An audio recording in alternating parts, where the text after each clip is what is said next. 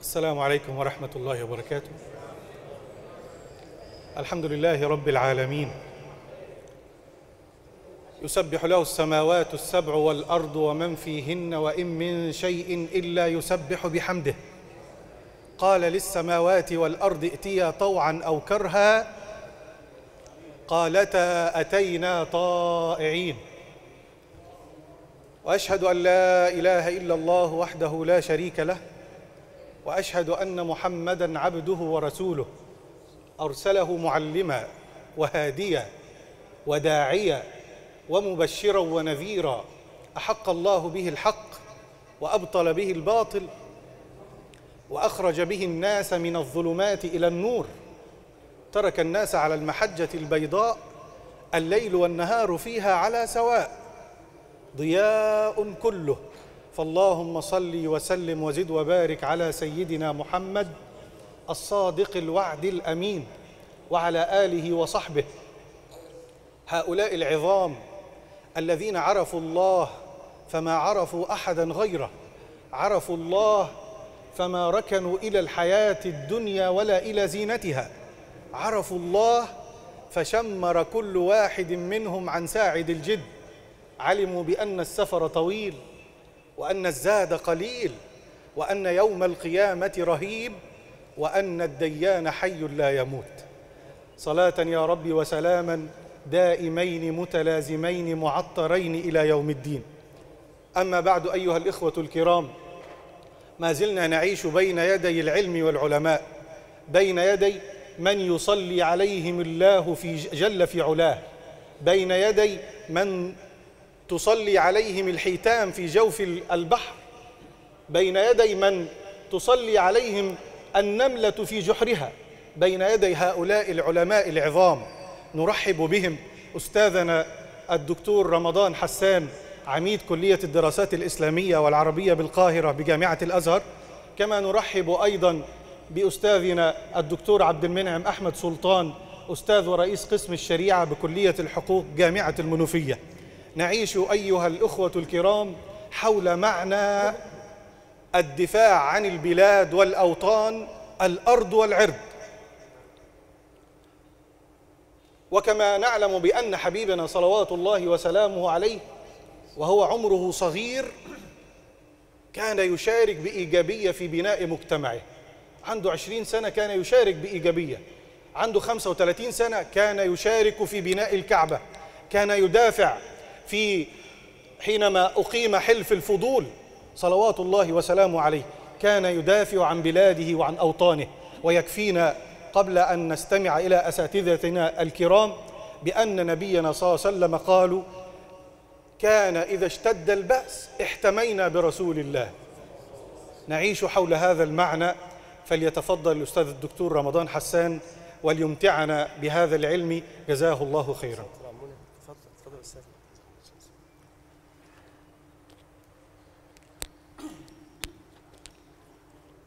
السلام عليكم ورحمة الله وبركاته.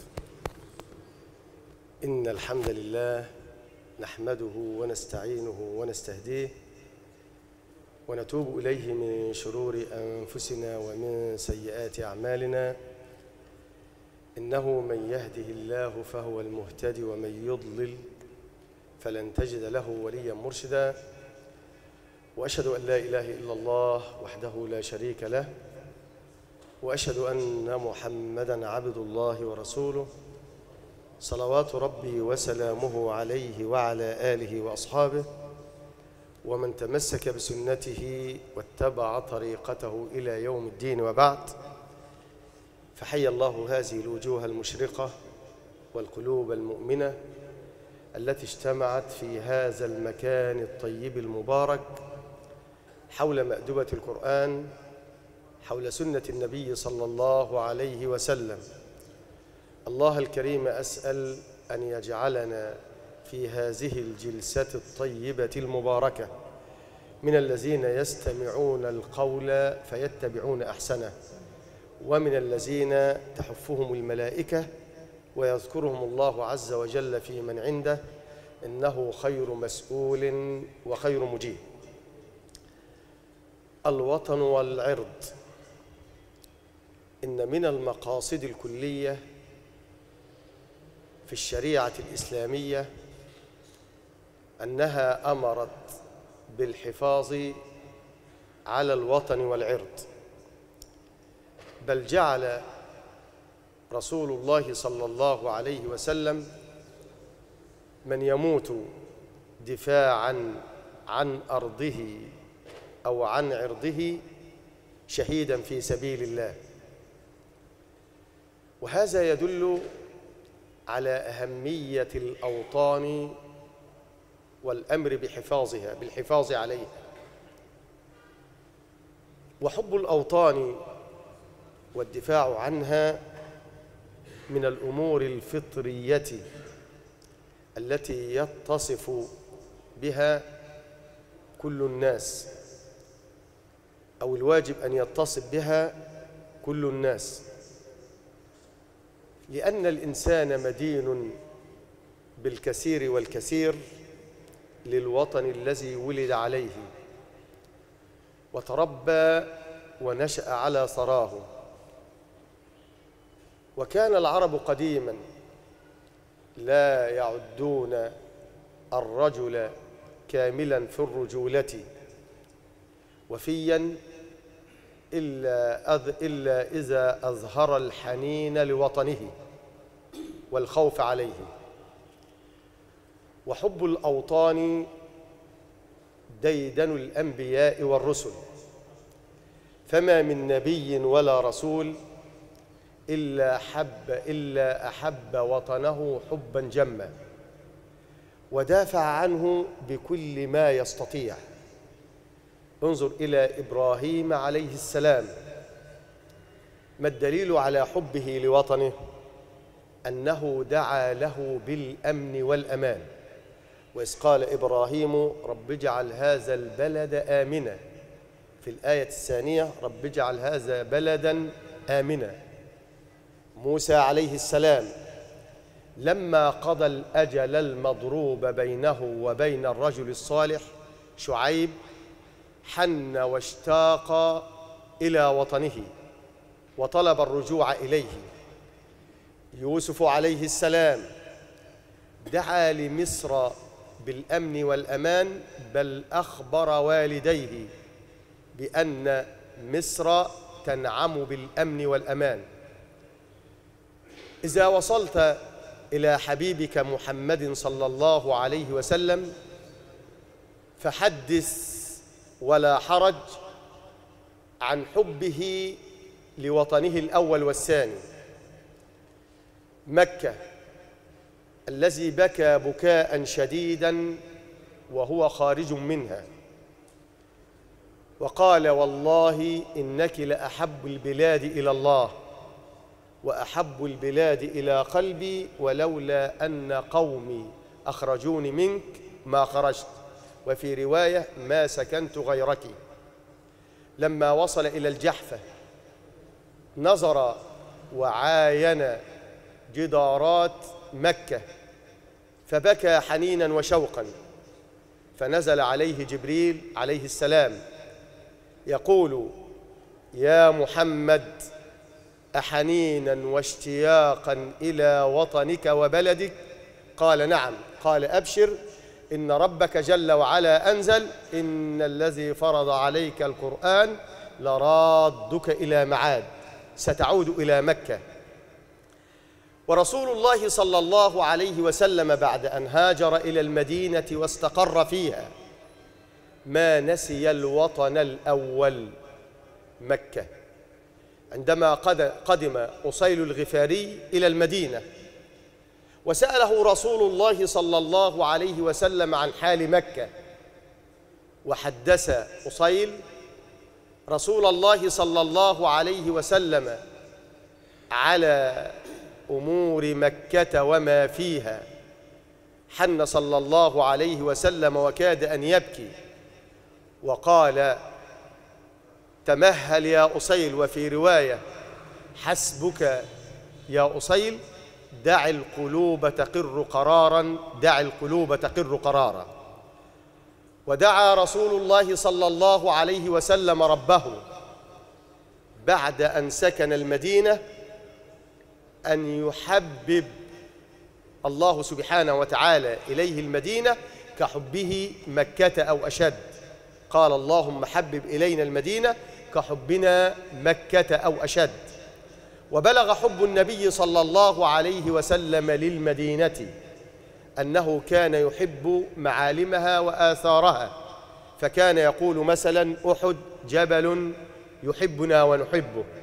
وكان من حب النبي صلى الله عليه وسلم للمدينة كان يشتاق إليها عندما يخرج مسافرا فكان إذا اقترب من المدينة وشاهد جدارات المدينة حرك ناقته أو أسرع صلى الله عليه وسلم اشتياقا وحبا للمدينة. لا يقدر قيمة الأوطان إلا من حرم منها. لا يعلم قيمة الأوطان إلا من حرم منها. لذلك المشركون والكفار هددوا رسلهم بأنهم إن لم يكفوا عن الدعوة إلى الله سيخرجوهم من أرضهم. وقال الذين كفروا لرسلهم لنخرجنكم من أرضنا أو لتعودن في ملتنا. قم لوط قم شعيب هدد كل منهم نبيه بأنهم سيخرجوه من أرضه. هذا يدل على أن الخروج من الوطن غال على النفس. لذلك أوجب الإسلام الدفاع عن الأوطان وأن يقدم الناس الأرواح فداء لأوطانهم. ومن مات دفاعا وفداء لوطنه فهو شهيد كما ذكر ذلك رسول الله صلى الله عليه وسلم. ونسأل الله سبحانه وتعالى في هذه الجلسة المباركة الطيبة أن يغفر للشهداء من إخواننا في فلسطين وأن يجعل منزلتهم في أعلى الجنان وأن يثبت المرابطين وأن يرزقهم الأمن والأمان وأن ينصر بهم الإسلام. إنه ولي ذلك والقادر عليه. ضربوا أروع الأمثلة في الثبات وفي الدفاع عن أرضهم وعن وطنهم. نسأل الله سبحانه وتعالى أن يثبتهم وأن يؤيدهم. وأن يقويهم. كذلك مما أمرنا الإسلام به بالنسبة للأوطان في الدفاع عنها والحفاظ عليها. ليس الدفاع عن الوطن أو الحفاظ على الوطن يكون بالجهاد في سبيله فقط وإنما نحافظ على الوطن من الأفكار المغشوشة ومن الأفكار الهدامة. ومن الشائعات التي تنسف بوحدة الوطن والتي تؤثر على الوحدة والاتحاد. فمن أهم عوامل الدفاع عن الأوطان عدم ترويج الشائعات وعدم نشر الشائعات وعدم نشر الأمور التي من شأنها أن تفرق أبناء الشعب الواحد. فإن هذه الأمور تؤدي إلى إضعاف قوة أهل الوطن مما يجعل الأعداء يحاولون النيل منهم فلن تتقدم أمة ولن تحافظ على وطنها وعلى أرضها إلا إذا تمسكت بالوحدة إلا إذا صارت خلف قيادتها إلا إذا قدرت الوطن حق القدر وعلمت منزلة الأوطان وعلمت أن من أهم النعم التي أنعم الله عز وجل بها على الناس أن يكون لهم وطنا يسكنون فيه يأمنون على أنفسهم. وانظر إلى من شردوا من أوطانهم. هل يجدون أمنا أو أمان؟ هل يجدون سلما أو سلام؟ هل ينعمون بأي نعمة من النعم ولو توفرت لهم؟ إن نعمة الأمن والأمان ونعمة الاستقرار في الأوطان من أهم النعم التي لا تعادلها نعمة. وصدق صلى الله عليه وسلم عندما قال من أصبح منكم آمنا في سربه معافا في بدنه يملك قوت يومه فكأنما حيزت له الدنيا بحذافيرها نسأل الله سبحانه وتعالى أن ينعم على مصرنا الحبيب بالأمن والأمان والسلم والسلام وأن يرزقنا الوحدة دائما وأن يوفق كل من أراد مصر بخير وأن يجعل كيد من أراد لها شر أن يجعل كيده في نحره. كذلك أمر الإسلام بالحفاظ على العرض. ومن مظاهر ذلك أنه حرم الزنا. بل حرم مقدمات الزنا. قال ولا تقربوا الزنا. كذلك حرم ونهى عن المقدمات التي تكون سببا للوقوع في الزنا. أمر كلا من الرجل والمرأة بغض البصر. كل المؤمنين يغضوا من أبصارهم ويحفظوا فروجهم. وكل المؤمنات يغضضن من أبصارهن ويحفظن فروجهن.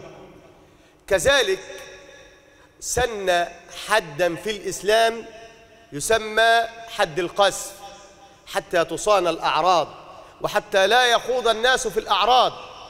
بل إن القرآن الكريم ذكر الخوض في الأع- في الأعراض وسماه افكا وهو أقبح وأشد أنواع الكذب. هذا يدل على حرص الإسلام على صون العرض وعلى الحفاظ عليه. يجب على كل إنسان يخاف على انتهاك عرضه أن يحافظ على أعراض الآخرين وأن يحافظ على لسانه لا يتحدث ولا يخوض في أعراض الناس. فإن ديننا الحنيف جعل الشهادة في القتل تثبت بشهادة رجلين عدلين. أما في القذف أربعة رجال عدول. هذا يدل على حماية الإسلام وعلى حفظه للعرض. لا أطيل عليكم. أسأل الله سبحانه وتعالى في هذه اللحظات الطيبات المباركات أن ينصر الإسلام والمسلمين. وأن يحفظ جيشنا من كل مكروه وسوء وأن يجعل كيد أعدائنا في نحورهم. إنه ولي ذلك والقادر عليه. وآخر دعوانا أن الحمد لله رب العالمين. وصل اللهم على سيدنا محمد وعلى آله وصحبه وسلم. وجزاكم الله خيرا. والسلام عليكم ورحمة الله وبركاته. جزا الله فضيلة الأستاذ الدكتور رمضان حسان خير الجزاء. يعني كما قيل المتعمق في العلم كالسابح في البحر. لا يرى أرضا ولا طولا ولا عرضا. يعني الدكتور رمضان بيتكلم مش عايزينه يخلص يعني. نسأل الله سبحانه وتعالى أن ينفعنا به. كلمة مهمة جدا أكد عليها فضيلة الدكتور رمضان وهي الحفاظ على. على الأرض والعرض. وده مهم جدا. ونطلع بدرس هنا مهم وهو التصدي للشائعات. ده مهم جدا حتى نحافظ على وطننا الحبيب. والآن مع فضيلة الأستاذ الدكتور عبد المنعم سلطان أستاذ ورئيس قسم الشريعة بكلية الحقوق جامعة المنوفية فليتفضل.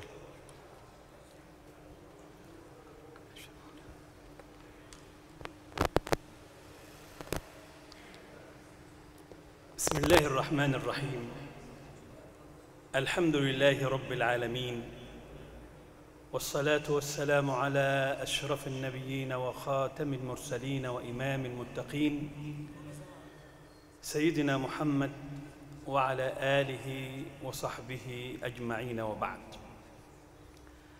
نجتمع في هذا المكان الطيب في بيت من بيوت الله عز وجل لنتدارس معا بعض الموضوعات الهامة التي فيها الحفاظ على الأرض وتشكل في معانيها الحفاظ على العرض وذلك تحت عنوان الأرض والعرض.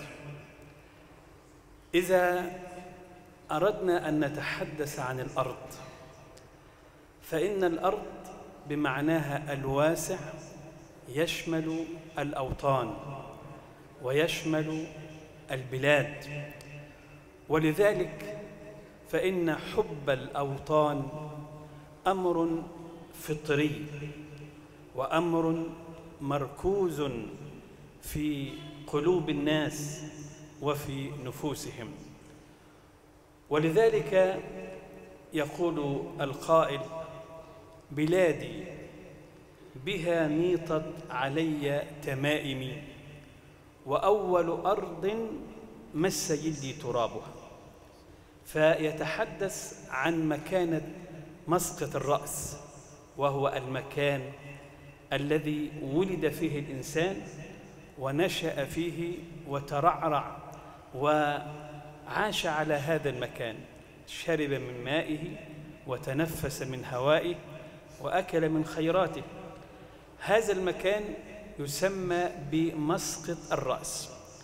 ولذلك نجد أهمية هذا المكان ومكانته في نفوس الناس. بعض الناس مهما سافر ومهما هاجر ومهما سعى في الأرض دائما يحن إلى مسقط رأسه يحن إلى المكان الذي ولد فيه بلادي بها نيطت علي تمائمي وأول أرض مس جلدي ترابها. دائما البلد الذي ولد فيه الإنسان دائما يحن إليه ويشتاق إلى أصدقاء ورفقة الصبا الذين كان يلعب معهم وكان يتعلم معهم مهما سافر ومهما بنى في غير وطنه إلا أنه دائما يحن إلى الوطن الذي ولد على أرضه والذي نشأ عليه. ولذلك يقول الأصمعي إن حب الأوطان أيضا مركوز عند بعض الحيوانات. الإبل تحب العودة إلى أوطانها مهما تباعدت. وكذلك أيضا الطيور تحب العودة إلى أوكارها حتى وإن كانت قفارا. والإنسان يحب العودة إلى وطنه حتى وإن كان أقل نفعا. فحب الأوطان من الأمور المركوزة في نفس الإنسان والتي نشأ عليها الإنسان. ورسولنا صلى الله عليه وسلم ضرب لنا المثل الأعلى في حب وطنه وفي حب الأرض التي ولد عليها ونشأ عليها وترعرع على أرضها وهي مكة المكرمة. وما, ذكر سعادة العميد أن النبي صلى الله عليه وسلم حينما أخرجه قومه من مكة حن إلى هذا البلد ووقف على ناصية أو في أعلى مكان في مكة وخاطب مكة. كأن مكة لها روح ولها أحاسيس يخاطبها صلى الله عليه وسلم. يا مكة إنك أحب البلاد إلى الله وأحب البلاد إلي ولولا أن أهلك أخرجوني منك ما خرجت. هذا يدل على أن للوطن مكانة. النبي صلى الله عليه وسلم يخاطب هذا المكان كأنه يسمعه وكأن لهذا الوطن شعور وأحاسيس يدرك هذه المعاني. التي خاطبه بها رسول الله صلى الله عليه وسلم. ولكن الله عز وجل طمأن رسوله صلى الله عليه وسلم بأنه سيعود إلى هذا المكان ظافرا وفاتحا ومنتصرا وأن هجرته لمكة لم تكن مهاجرة من القطيعة ولم تكن من الهجر أي القطيعة وإنما كانت من المهاجرة. على وزن مفاعلة أي خرجت منها وستعود إليها. ولذلك طمأنه ربه بقوله إن الذي فرض عليك القرآن لرادك إلى معاد النقطة الثانية ورد أن الإمام الذهبي قال حبب إلى النبي صلى الله عليه وسلم أشياء. كان يحب عائشة ويحب أباها. رضي الله تبارك وتعالى عنه. وكان النبي صلى الله عليه وسلم يحب زيد ويحب سبطيه وكان يحب العسل ويحب الحلوى. وكان يحب وطنه وهو مكة. فالنبي صلى الله عليه وسلم ضرب لنا المثل في حبه لوطنه وحبه للأرض التي نشأ وترعرع عليها. وهذا الحب يدعو إلى الدفاع عن هذه الأوطان ويدعو إلى المحافظة عليها. فالنبي صلى الله عليه وسلم أيضا ضرب لنا المثل في الدفاع عن الوطن. وكما نعلم أن النبي صلى الله عليه وسلم حينما سمع أهل المدينة شيئا أدى إلى إخافتهم وإلى خوفهم من سمع صوتا أو سمعوا صوتا أخاف أهل المدينة. وجدوا أن النبي صلى الله عليه وسلم خرج لبحث أو البحث عن هذا الصوت وما أدى إلى إخافتهم وما أدى إلى يعني إلقاء الرعب في أهل المدينة. وحينما خرجوا يسألون عن هذا الصوت وجدوا أن النبي صلى الله عليه وسلم عائدا ويركب فرسا لطلحة ويتخلد بسيفه صلى الله عليه وسلم. يعني صلى الله عليه وسلم كان عائدا بعد أن استكشف هذا الأمر وقال لهم لا ترتعدوا لا ترتعدوا بعد أو قبل أن خرج أهل المدينة. هذا يدل على إيه؟ على شجاعة النبي صلى الله عليه وسلم. وعلى حبه لوطنه وعلى دفاعه عن وطنه صلى الله عليه وسلم. هذا درس للأمة أن تدافع عن أوطانها وأن تدافع عن مقدساتها لأن حب الوطن من الإيمان وهو من المقاصد الكلية للشريعة الإسلامية. الحفاظ على المال والعرض والدين وما إلى أن منها المحافظة على الأوطان. فالمحافظة على الأوطان من المقاصد الأساسية للتشريع الإسلامي. كذلك أيضا مما يدل على حب الأوطان وحب ووجوب الدفاع عليها. أنه إن لم يكن هناك أرض أو وطن فلا إسلام ولا دين ولا عبادة لماذا؟ لأن المسلم لا يؤدي الشعائر التي أمر بأدائها إلا إذا كان له وطن يستقر فيه ويشعر بالأمن والأمان فيه ويحيا على أرضه لأن الخائف لا رأي له. الخائف لا يستقر له حال. ولذلك فإن المحافظة عن الأوطان والدفاع عنها هي من وسائل انتشار الدين ومن وسائل انتشار الإسلام ومن الوسائل التي تساعد على إقامة الشعائر. وعلى إرساء أحكام الإسلام وعلى عبادة الله عز وجل في طمأنينة. ومن هنا كان وجود الأوطان من الأمور اللصيقة بالعرض ولذلك يقال الوطن كالعرض. الذي لا يفرط في عرضه لا يفرط في وطنه.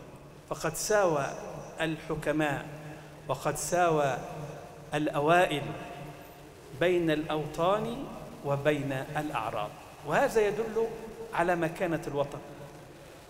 لأن الأوطان كما قلت هي من الأمور التي تساعد على الطاعة وهي من أهم النعم التي ينعم الله سبحانه وتعالى بها على عباده. الله عز وجل امتن على قريش بنعمة الأمن والأمان لإلاف قريش إيلافهم رحلة الشتاء والصيف. فليعبدوا رب هذا البيت الذي أطعمهم من جوع وآمنهم من خوف.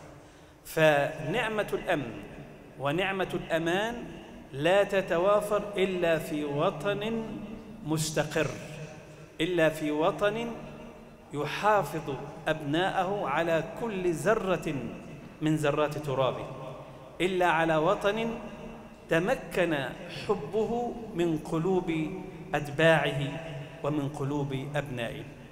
إذن أيها الأحباب الدفاع عن الوطن والدفاع عن الأرض واجب من الواجبات التي شرعها الإسلام.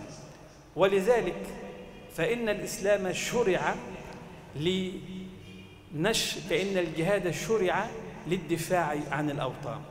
ولذلك يقول العلماء يتعين متى يصير الجهاد فرض عين. قالوا يصير الجهاد فرض عين إذا دخل العدو محلة قوم. يعني وجدنا أن العدو قد اقترب وكاد أن يهدد أوطانا حينئذ يتعين الجهاد.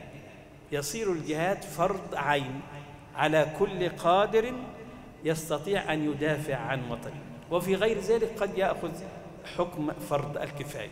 لكن يتعين متى؟ إذا تعرضت الأوطان للمخاطر وإذا تعرضت الأوطان للدسائس وإذا تعرضت الأوطان للمكائد حينئذ ينبغي أن يكون كل مسلم يقظا وعلى ثغرة من صغار دينه ولذلك فإن أجر الشهداء ومنزلة الشهداء منزلة عظيمة. يقول النبي صلى الله عليه وسلم عينان لا تمسهما النار. عين بكت من خشية الله وعين باتت تحرس في سبيل الله. والنبي صلى الله عليه وسلم عبر بالعين عن الجسد. لأن الجسد هو الذي يقف على الثغور ويقف على الحدود بهدف حماية الأوطان والزود عنها والدفاع عنها مما يحاك لها ومما يدبر لها من المكائد والدسائس. كذلك أيضا الحفاظ على الأعراض. أو قبل هذا فإن من الحفاظ على الأوطان كما ذكر سعادة العميد عدم الاستماع إلى الشائعات. هناك شائعات مغرضة تؤدي إلى تفتيت القوى وتؤدي إلى هدم العزائم وتقويض العزيمة وتؤدي إلى التفرقة بين أبناء الوطن. الإسلام حارب هذه الشائعات وبين العلماء وسائل لمعالجة أو لمحاربة هذه الشائعات أول وسيلة من هذه الوسائل أن يقوم المسلم بالتبين والتثبت من هذه الشائعة. يقول سبحانه وتعالى يا أيها الذين آمنوا إن جاءكم فاسق بنبأ فتبينوا وفي قراءة فتثبتوا. فأول ما يسمع الإنسان إشاعة يتثبت منها. ما هو مصدر هذه الإشاعة؟ من قائل هذه الإشاعة؟ هل له أغراض؟ هل له كذا؟ إلى آخر ذلك. الأمر الثاني أن يطالبه بالدليل. يطلب منه الدليل على هذه الإشاعة.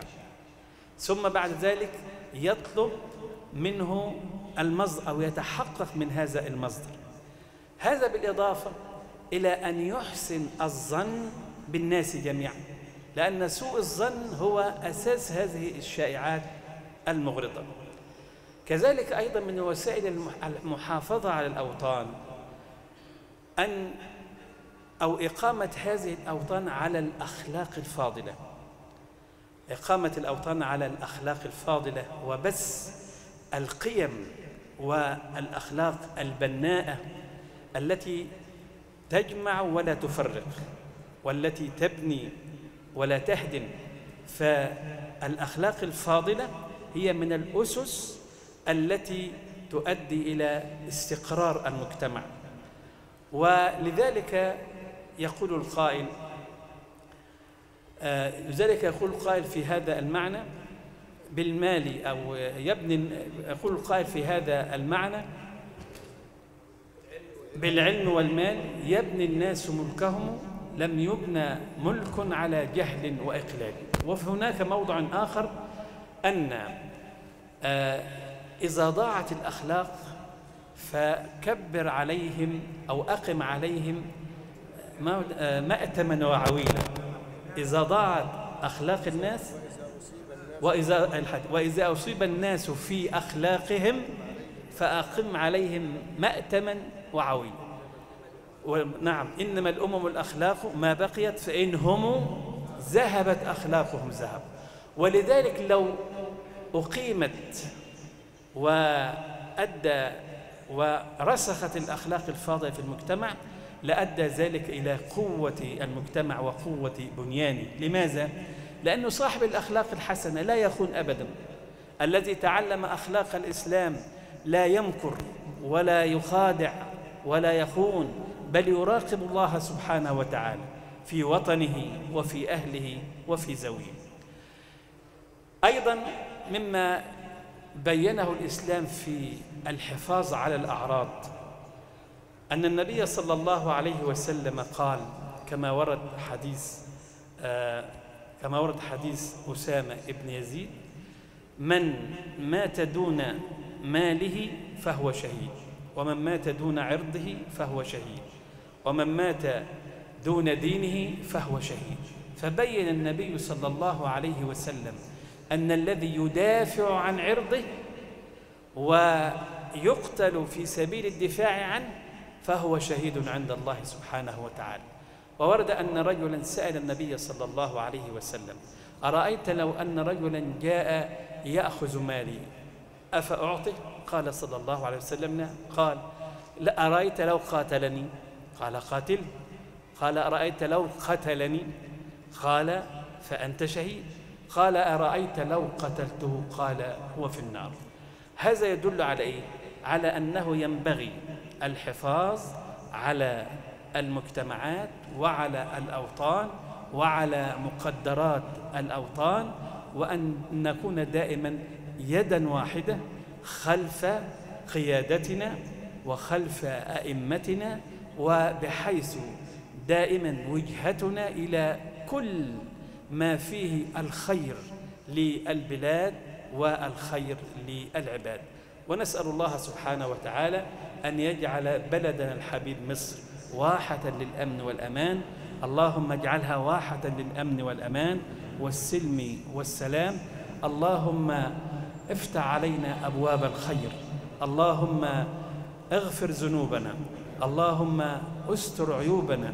اللهم انصر المجاهدين في في كل مكان في فلسطين وفي كل بلاد الإسلام. اللهم انصرهم بنصرك وأيدهم بتأييدك ومدهم بمددك يا رب العالمين لأنهم يدافعون عن دينك ويدافعون عن أرضك. أسأل الله سبحانه وتعالى أن يوفقنا لما يحب ويرضى. أقول قولي هذا وأستغفر الله العظيم لي ولكم. نشكر الأستاذ الدكتور عبد المنعم سلطان. يعني أجرى يعني في عروق وعروقنا وفي دمنا حنين الاشتياق إلى وطننا. لعلنا نحب أوطاننا أكثر وأكثر ونتصدى للشائعات أكثر وأكثر. الله يلقى من رجا دوما لقاه بالحب لو قلب محب قد رجاه. أخلص له حبا ولا تجعل له في القلب محبوبا يشاطره هواه. من كان يطمع في لقاء حبيبه لا بد أن يخلي الجوارح من سواه. اصرف فؤادك للإله بذكره. دوما تجده وقد أجابك من علاه. فهو الحبيب لمن أحب لقاءه. هو سمعه هو عينه هو حفظه. وكماله يلقاه بالفضل المرجى من نداه. يا عاقلا إن كنت حقا مؤمنا فكمال إيمان الفتى حب الإله. يا قلب أقلع عن هوى الدنيا فما فيها سوى أوهام سعد واشتباه واجعل وجودك خيرا في هذه الدنيا فتحظى بالنعيم لمنتهى نسأل الله سبحانه وتعالى أن يديم علينا هذه الجلسات وهذه اللقاءات ونظل دائما في كرم من الله وتوفيقه وعونه. ونشكر معالي وزير الأوقاف الأستاذ الدكتور محمد مختار جمعة لرعايته الكريمة. ونسأل الله سبحانه وتعالى أن يتقبل منا ومنكم. جزاكم الله خيرا. والسلام عليكم ورحمة الله وبركاته.